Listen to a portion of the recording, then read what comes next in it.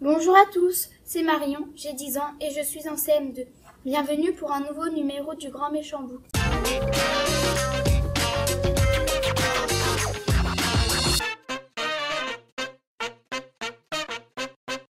Aujourd'hui, je vais vous présenter Shi.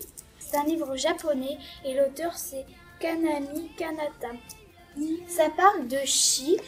C'est un chat qui s'est fait adopter par une famille dans le tome 1. Euh, les tomes ne se suivent pas, ni les chapitres. C'est assez court. Les chapitres sont courts. C'est illustré et c'est un manga qui se lit à l'endroit. J'ai aimé ce livre car ça parle d'une vie d'un chat.